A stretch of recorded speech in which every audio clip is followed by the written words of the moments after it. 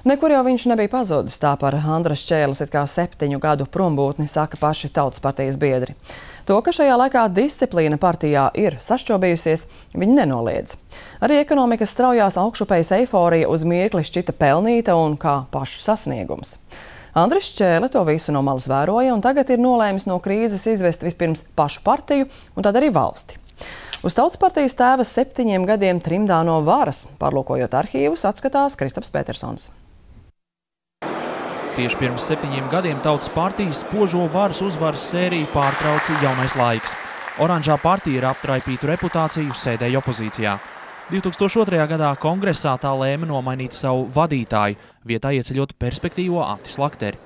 Mana dažādi vērtētā personība sen jau vairs nav Tautas partijas alfa un omega.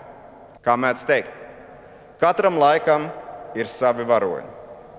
Lai parādītu, ka mēs esam mainījušies, mums ir nepieciešami jauni simboli. Valdes un priekšsēdētāja maiņa ir loģiska un nepieciešama. Pagāja gads bez šķēles, nekas nemainījās. Tautas partija turpināja sēdēt opozīcijā, kamēr Einārs Repše kā premjers nostiprināja pozīcijas. Tautas partija to pacieta sakostiem zobiem. Kā mēdz teikt, pārdzīvojam padomu laikus, pārdzīvosim ar jaunos laikus. Viss mainījās 2004. gadā, kad pie varas nonāca Tautas partijas premjers Aigars Kalvītis. Kongresa kuldīgā bija viņa triumfa mirklis. Togad šķēle kongresu neapmeklēja, taču jau nākamgad pēc veiksmīgiem pašvaldību vēlēšanu rezultātiem Tautas partija bija pilnībā atguvusi posmi un par to arī baudā tīksminājās. Kāda tad ir šī karte? Oranža, vitaminizēta, gaiša, spēcīga un droša un brīdinoši, kā ceļa strādnieka veste, kas saka, mēs šeit strādājam jūsu labā.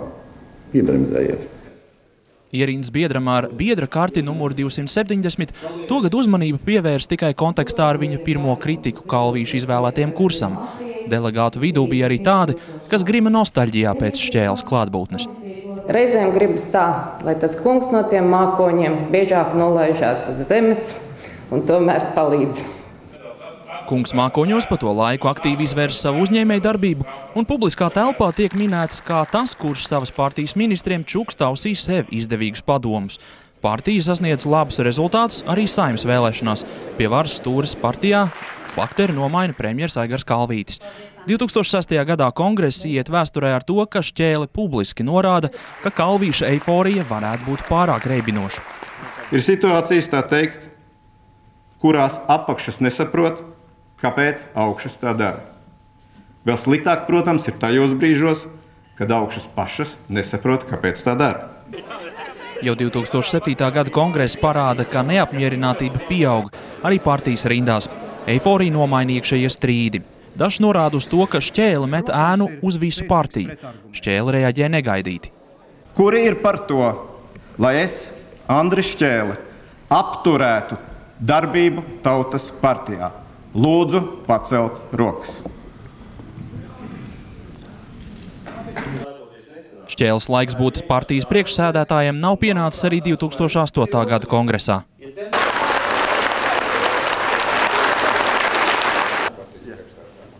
Andris Šķēle kandidēt nevēlas. Paldies!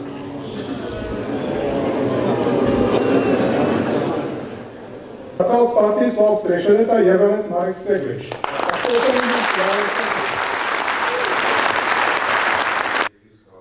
Šodien septiņu gadu koķetēšana ar vāru ir noslēgusies.